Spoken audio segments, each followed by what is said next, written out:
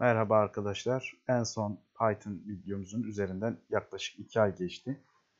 Ee, son Python videomuzda Python kütüphaneleri ya da modül olarak adlandırabiliriz bunları. Modüllerinin e, nasıl yükleneceğini anlatmıştık. Ee, bir önceki dersimiz olan Python'ın 53. dersinde e, bunu anlatmıştık. Yine e, bu derste önemli bir konuya değineceğiz ve MySQL'in Python ile nasıl kullanılacağını anlatacağız.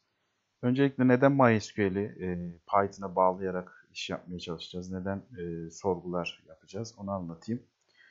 E, Python web modülleri sayesinde oldukça popüler. Django veya diğer popüler modüller e, sebebiyle web üzerinde epey işler yapılabiliyor Python ile. E, bunun dışında e, webdeki birçok site e, ücretsiz olmasından dolayı MySQL veri tabanını kullanıyor. Artı PHP tabanlı web siteleri e, genelde MySQL e, veri tabanını kullanıyor. Bu yüzden MySQL'i e, Python'a bağlamak ve MySQL üzerinden işlemler gerçekleştirmek önemli. Onun dışında Python'ın e, standart kütüphaneleri arasında SQLite var. E, SQLite ya da öyle diyelim. E, bu da Python'ın varsayılan olarak desteklediği bir veri tabanı. Ama tabii e, piyasada iş yapacaksanız e, birçok veri tabanını bağlayarak, onlara ulaşarak işleminizi gerçekleştirmeniz gerekiyor. Hemen laf fazla uzatmadan e, Python'ın e, Python'la MySQL'i nasıl bağlayacağımızı söyleyelim. Öncelikle Python'a e, modül yüklememiz gerekiyor. MySQL için bir e, çalışan bir modül bulmamız gerekiyor. Neden çalışan bir modül dedim? Python'ın e, geliştirilme süreci, yani bu modüllerin özellikle geliştirilme süreci e, gönüllü olarak yapılıyor ve insanlar bunu para karşılığında yapmıyor. Bu modülleri geliştiriyorlar e, ve Python'ın o anki sürümüyle uyumlu olacak şekilde devam ettiriyorlar ya da e, bunu yaptıktan sonra, bu modülü geliştirdikten sonra belki de destek vermeyi bırakıyorlar. Dolayısıyla Python'ın e, yeni e, versiyonlarında bu modüller çalışmaz hale geliyor. E, artı Python modüllerine çalışanını bulmak, şu an kullandığınız versiyonla uyumlu olanını bulmak e, saçınızı başınızı yoldurabilir. Çalıştıramayabilirsiniz. E, bu da neden? Üçüncü parti yani kurumsal olmayan geliştiricilerin e, yaptığı modüllerden dolayı bunlar e, sizi zorlayabilir.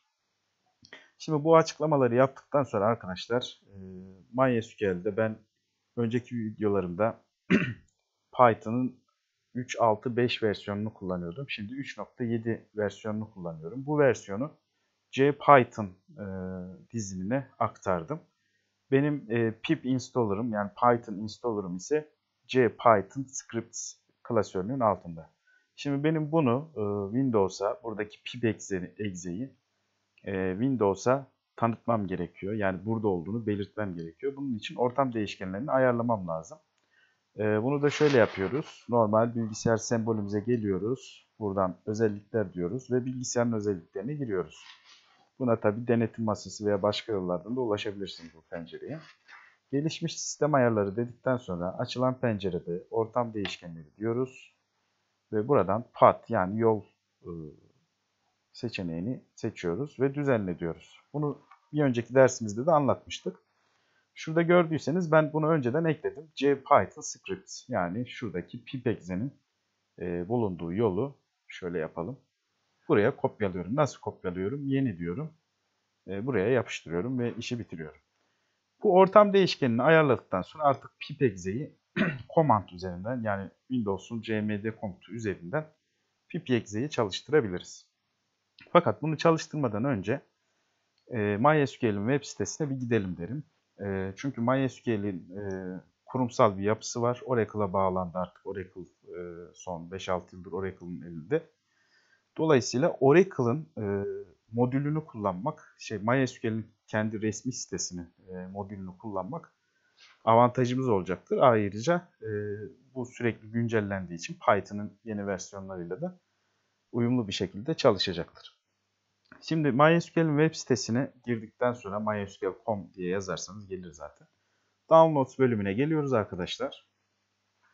Ee, Downloads bölümünden e, MySQL Connectors'ı kuruyoruz. Buluyoruz. Tabii önceden sistemimizde ne olması lazım arkadaşlar? MySQL'in e, kurulu olması gerekiyor. Benim video kanalımda oynatma listelerinde MySQL'in nasıl kurulacağı, MySQL'in yönetimi, MySQL Workbench, e, tablo oluşturma vesaire bu tip ayrıntılara ait bir MySQL tutorial serisi var, ders serisi var. E, ona göz atabilirsiniz. Tabii MySQL'i kurduğunuzu varsayıyoruz burada öncesinde. E, MySQL'iniz kurulu çalışıyor varsayıyoruz. Geliyoruz MySQL Connect, Connectors'ta. Connected Python seçeneğini tıklıyoruz. Connected Python seçeneğinde bize oldukça fazla açıklama var. Bizim benim şu an kullandığım sistem Windows olduğu için direkt MSI installer'ı download edip çift tıklayarak kurabilirim. Yani pip installer kullanmadan Windows'un installer'ını kullanarak da bu Python'ın şeyini kurabilirim. E, versiyonunu kurabilirim. Zaten Python 2.7 için burada ayarlanmış versiyonlar yazıyor. Eğer Python 3'ten önceki versiyonu ise bunu kullanacaksınız. E, eğer Python'ın benim gibi 3.7 sürümünü kullanıyorsanız 3.5 e, sürümünü buradan download edip kullanacaksınız, kuracaksınız. Bu birinci yöntem. E, ben bunu tasvip etmiyorum. Neden? E, çünkü pip ile bunu kurmak daha sağlıklı olacaktır. pip installer'la kurmak daha sağlıklı olacaktır. Şimdi Python'ın kurulma şeyine geçersek Installation Instructions bölümünde devam edelim.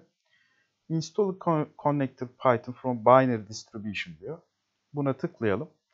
Burada da gördüğünüz üzere e, şu komutu kullanacağız biz. pip install mysql connector python diyerek kurulum işlemimizi gerçekleştireceğiz. Bu birinci yöntem. Bunu nasıl yapıyorduk arkadaşlar? E, Windows R tuşuna basarak çalıştırıp geliyorum. Cmd yazıyorum. Normal Windows'umuzun e, şurada gördüğünüz e, şeyi açılıyor. Command birimi açılıyor. Bunu yaptıktan sonra pip install mysql connector python Burada hata yapmamamız gerekiyor. Küçük büyük harf bunlara dikkat etmemiz gerekiyor. Yani şu komutu command penceresine yazıyorum. Python diyorum. Enter diyorum. Şimdi tabii ben e, bunu önceden kurduğum için bu e, paketlerin önceden yüklendiği bana belirtiliyor.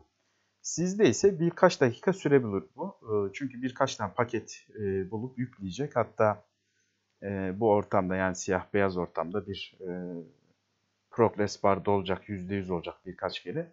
Bekleyeceksiniz. En son installation successful yazacak arkadaşlar. Ve kurulumunuz tamamlanacak. Kurulumun tamamlanıp tamamlanmadığını kontrol etmek isterseniz yine C sürücüsüne gidin. Ben de C sürücüsü sizde hangisi bilmiyorum. Python'a gelin ve şuradaki lib'e gelin. Python buradaki kütüphaneleri kullanarak e, çalışır. Herhangi bir kütüphane ekleyerek buradan çalışabiliyorsunuz.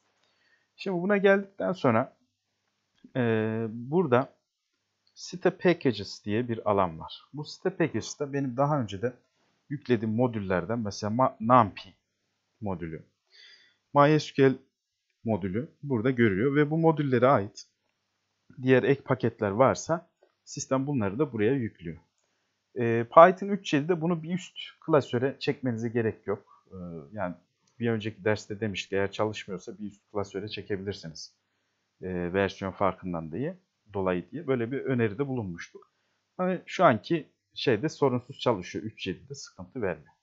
Bu işlemi yaptıktan sonra artık MySQL paketinizi e, Python'a entegre etmiş oluyorsunuz. Gelelim e, bizim kod yazdığımız e, ücretsiz bir idedir bu. Python'ın e, PyCharm idesi. PyCharm idesinde e, ilk dersimizde Python serisinin ilk dersinde demiştik. JetBrainz'in e, yani Java geliştiricilerin IntelliJ e, ortamının geliştiricilerin yaptığı bir editör. Güzel bir editör ve sağlıklı bir editör. Bunu kullanmanızı tavsiye ederim. Tamamen ücretsiz. Community versiyonunu kullanıyorum ben. Şimdi aynı işlemi buradan da yapabilirsiniz. Nasıl yapıyorsunuz arkadaşlar? Settings'e geliyorsunuz projeniz açıkken. Project Interpreter kısmına geliyorsunuz. Normalde şu şekildedir. Açıyorsunuz Project Interpreter. Burada benim e, Python'da yüklü olan e, bütün modüllerim burada bakın gösteriyor ve bu versiyonlarıyla beraber gösteriyor. Siz buradaki artı işaretine basarsanız e, üçüncü bir yükleme yöntemini buluyorsunuz. Burada Python'ın e, resmi sitesindeki e, available olan yani müsait olan bütün paketleri görebilirsiniz. Onlarca, yüzlerce paket. Tabi bu paketlerin hepsinin e, ne işe yaradığını e, bilemezsiniz. Nasıl bir işlem yaptığını bilemezsiniz ama popüler paketlerin hepsini burada bulabilirsiniz. Şimdi burada MySQL dediğimizde e, MySQL'e ait onlarca paketin olduğunu görüyorsunuz arkadaşlar. Mesela şu en çok e, YouTube'da ve diğer sitelerde MySQL için en çok kullanılan paket e, MySQL Python paketi. Fakat bu paket ben tercih etmiyorum çünkü e, versiyon bazı versiyonlarda hata veriyor. Artı e, Visual C++'ın bazı kütüphanelerini isteyebiliyor. Artı resmi bir üretici değil. E, onun yerine Connected Python MySQL'in resmi üreticisinin e, paketi olduğu için ben onu tercih ettim. E, çünkü kurumsal e, üreticiler her zaman daha sağlıklı işler gerçekleştirirler. Burada onlarca MySQL connector var. Yani o kadar çok ki e, bunların hepsi MySQL'e bağlayabilir. Ama dediğim gibi e, bunlar üçüncü parti kullanıcılar yani amatör kullanıcıların geliştirdiği paketler e, dolayısıyla çalışmayabilir. O yüzden ben MySQL Connected Python sistemini yerleştirdim. Şimdi e, bu işlemi de gerçekleştirdikten sonra e, MySQL Workbench'imizi açalım. Ve benim MySQL videolarımı takip eden arkadaşlar varsa aşina olacaktır. Burada ben 1, 2, 3, 4 diye basit bir şifre verdim. Akılda kalıcı olsun diye. Kullanıcı adım da root. Burada benim birkaç tane e, derslerde öğrencilerime de anlattım. Tablolarım var. İşte deneme tablosu, e, atıyorum bu deneme tablosunun içinde öğrenci, kullanıcı adı, adres vesaire, mağaza tablosu, model DB vesaire vesaire. Burada birçok tablo var. Biz şu deneme tablosu üzerinden devam edeceğiz. E, bu arada şöyle e, kullandığım MySQL'in versiyonuna da bakabilirsiniz. Ben bunu geçen sene e, geçen sene değil de Şubat ayında falan kurmuştum. O zamanki sürüm 5.7.19'muş sağlıklı bir biçimde çalışıyor. Sıkıntı yok. MySQL'im açık. Şimdi bu e, öğrenci tablosuna baktığımızda öğrenci tablom e, bunu tabi zoom yapabilir miyim? Bakayım bir. Şöyle yazıları büyütmek istedim ama büyütemedim. Neyse. Öğrenci numarası, öğrenci adı, soyadı, veli adı, öğrenci resmi vesaire. E, burada verilerimiz mevcut. Şimdi bu e, deneme isimli veri tabanına bağlanıp öğrenci e, tablosundan verilerimizi çekelim. E, bu derste oturup kod yazmayacağım. E, fakat e, buradaki satırları tek tek açıklayıp sonunda bağlantıyı gerçekleştirip size göstermek istiyorum. Şimdi öncelikle e, biz MySQL'imizi buraya import etmemiz lazım. Import dedikten sonra e, MySQL yazarak ne yapabilirsiniz? MySQL.connector diyerek bu kütüphaneyi az önce download ettiğimiz e, kütüphaneyi buraya aktarıyorsunuz arkadaşlar. Daha sonra e, bağlantıyı yapmak için bir connection string oluşturmanız gerekiyor. Ben buna cnx dedi. MySQL connector connect dedikten sonra bir kullanıcı adı veriyoruz ki ben e, root olarak vermiştim. MySQL videolarından hatırlayabilirsiniz izleyenler.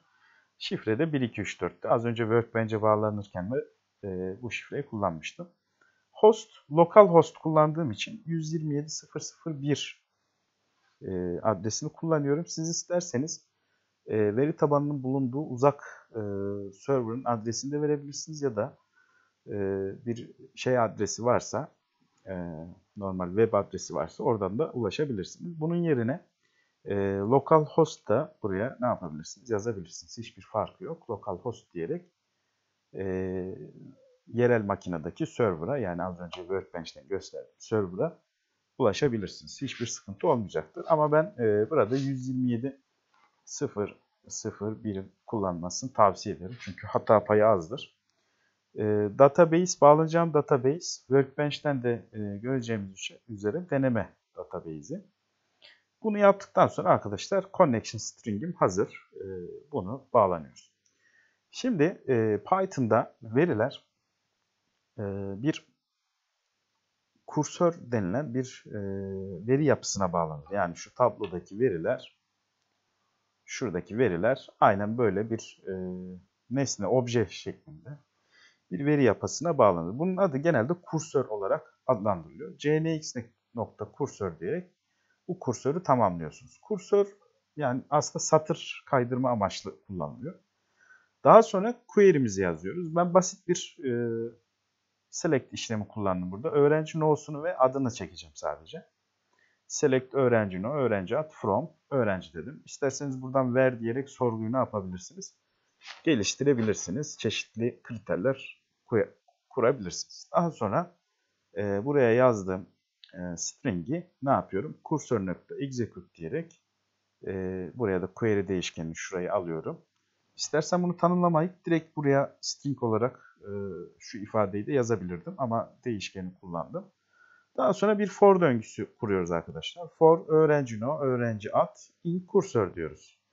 Dediğimiz az önce bahsettiğimiz veri yapısı kursörün içinde ve bu kursörün içinden bu iki datayı almak istediğimi belirtiyorum. Bir for döngüsü kullanıyorum ve bunları ekrana ne yapıyorum? Aralarına bir çizgi koyarak şuradaki gibi yazdırıyorum. Daha sonra kursörü kapatıyorum ve e, bağlantıyı kapatıyorum. İstersem arada daha birçok e, sorgu, ekleme, çıkarma işlemlerini de yapabilirim. Ama en sonunda e, bağlantı yani kursörü ve bağlantıyı kapatmayı unutmayalım arkadaşlar. Close, close diyerek kapatıyoruz. E, ve şimdi çalıştıralım, görelim. Bağlantı gerçekleşti. Herhangi bir e, sıkıntı yok. Şuradaki basit query'mizi çalıştırdık. E, şurada bakın 1 Ali, 7 Ali, 2 Berra, işte e, 4 Deniz, 5 Elif, 6 Fatih diye e, şuradaki verileri çektik. Burada mesela 3'ü silmişiz biz ders anlatırken. Onu e, görünmüyor. E, bu şekilde ne yaptı? Verileri alıp e, bizim karşımıza getirdi arkadaşlar. E, buradaki verileri sağlıklı bir biçimde MySQL'e bağlanarak çekmiş olduk.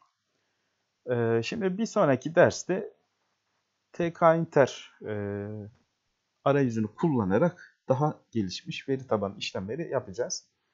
E, tabii bu arada benden istediğiniz şeyler olursa arkadaşlar yorumlara yazabilirsiniz. Bu konuda sormak istediğiniz şeyler olursa yorumlara yazabilirsiniz. Bunlara olabildiğince cevap vermeye çalışıyorum. Ee, yine dediğim gibi bu videoları e, çekerken bazen zamanım olmayabiliyor. Bazı videolar gecikebiliyor. Lütfen sabırla e, takip etmeye çalışın. Ama genelde e, bu tip mesela MySQL bağlantısı ile ilgili e, bir ders başlattıysam bunu ben 1-2 hafta içinde veya 1 ay içinde en geç tamamlıyorum. O yüzden takipte kalmaya çalışın arkadaşlar. E, MySQL bağlantısı derslerimize devam edeceğiz.